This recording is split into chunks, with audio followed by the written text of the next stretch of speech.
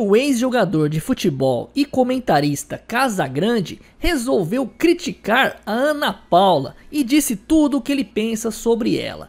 Casagrande disse que a Ana Paula é defensora dos violentos, como podemos ver nesta reportagem do Poder 360. Também podemos ver na própria postagem feita por ele aqui no site do Globo Esporte, onde ele escreve uma carta aí do esporte para os esportistas. E a gente desce aqui tem grifado. Na verdade, quero pedir desculpas por ter posto no meio de vocês e por muito tempo uma pessoa intragável, prepotente, arrogante, defensora de armas que se disfarçou de jogadora de vôlei, capaz de defender até esse infame deputado preso por ser violento e golpista. Disse então o Casagrande em sua postagem. E claro, né, a internet não perdoa e a própria Ana Paula resolveu rebater as acusações aí de Casagrande. E também muita gente saiu em defesa dela. Uma das pessoas que saiu em defesa da Ana Paula foi a deputada Bia Kisses, e em seu Insta compartilhou as tristes palavras do Casagrande, mas também compartilhou a resposta da Ana Paula Henkel para ele. Abre aspas, prezado Casagrande,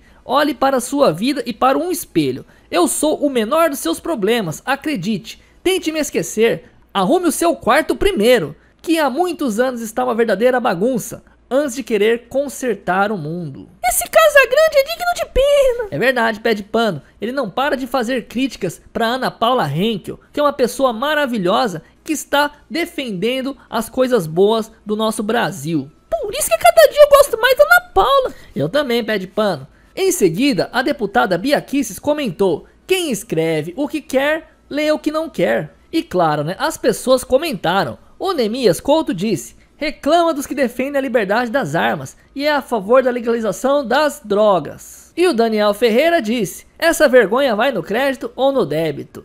Então é isso, pessoal. O Casagrande resolveu detonar a Ana Paula Henkel e disse que ela é uma defensora dos violentos. Por outro lado, a Ana Paula Henkel deu uma resposta que, olhem, deixou o Casagrande perdidinho. Mas eu gostaria que você comentasse a sua opinião sobre tudo isso aí. Deixa aí embaixo, eu quero saber, hein? Sigam a Ana Paula no Insta! Ah, sim! Faça como o Pé de Pano disse. Para quem quiser acompanhar o perfil da Ana Paula, digita aí no Insta, Ana Paula Vôlei.